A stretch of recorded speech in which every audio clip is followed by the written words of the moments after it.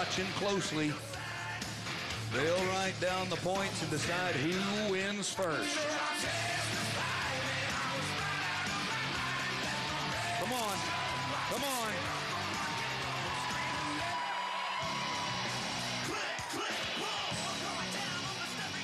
Go